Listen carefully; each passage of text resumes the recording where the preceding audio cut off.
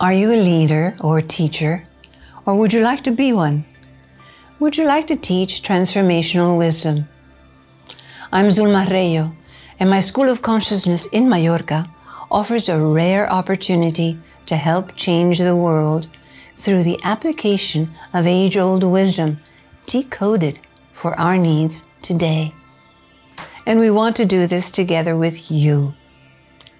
Would you like to go deeper into issues that can transform you and the world? In our school, we inquire in order to get results as revelation and then apply it. What is my life purpose? What is life about, really? Am I doing my part? Our acceptance is by invitation only, taking into consideration your desire to form part of a group of people who can and will change this world. Contact us.